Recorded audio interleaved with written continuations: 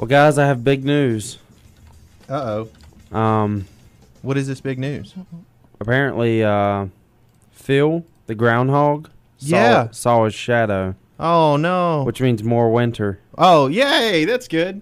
More snow days. Why couldn't you have seen his shadow yesterday? Um, he's on the groundhog has only not seen his shadow 15 times in this groundhog's history, in Phil's history. Um, CNN meteorologist Chad Myers had to try to ruin the fun. Oh, Um, what did Chad do? Wait a minute. Hold on. Let me back up. I'm not surprised that someone named Chad tried to ruin the fun. But go ahead. He said that Phil, the groundhog, is only r- right 39% of the time. Oh, So screw no- you, Chad. So nobody should pay attention to that. really? Come on, Chad. What the hell? Don't be calling out the groundhog like. Don't be calling out Phil like that. Well, how about just go ahead and tell the kids Santa Claus. Is Chad a don't exist? meteorologist? Chad's a meteorologist. Uh, How yes. often is Chad right? He's a CNN meteorologist. yeah. How often is Chad right? Let's look at his Yeah. numbers. Let's see how often Chad gets it right. If it's going to rain or not. If there's going to be six more weeks of winter. That's true. You know, if you're going to call people out, Chad, especially, I guess it's a rodent. Would it be a ro- Would it, is a groundhog Yeah, a I think rodent? yeah, he looked Okay. like a big rat. Yeah. Well- Especially if you're going to call out rodents. You know, hmm Do you know the tradition behind Groundhog Day? no clue.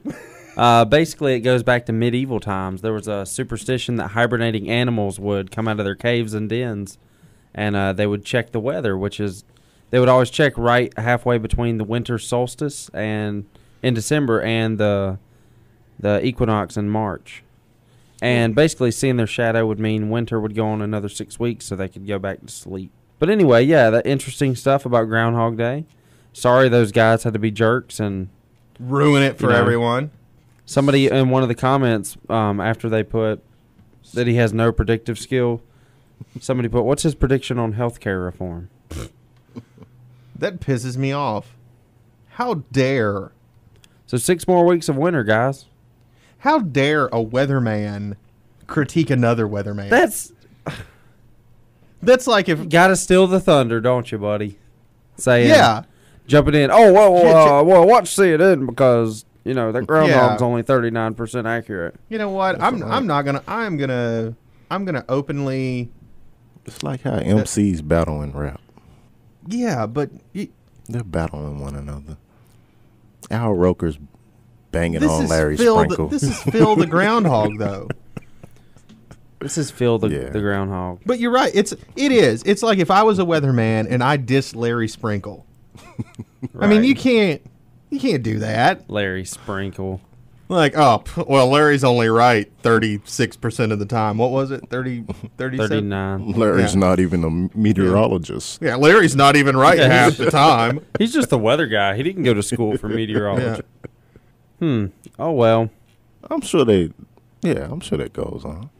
You know what? Mm-hmm. I don't watch CNN now, and I'm not gonna now. I mean, anytime you bash something that doesn't even have a chance to defend itself, didn't see. That's what. I mean, really. that's like making fun of like a three-year-old. They're not It going to be is. able to defend themselves. That's that's poor on your part, Chad. That I'm- is. You know what? I'm gonna start. Chad. I'm gonna start a Facebook fan page against this guy. Yeah. Chad said the groundhog was inaccurate. No, what's Let's it- boycott Chad. what's his name? Chad what? Dang it, I left the story already.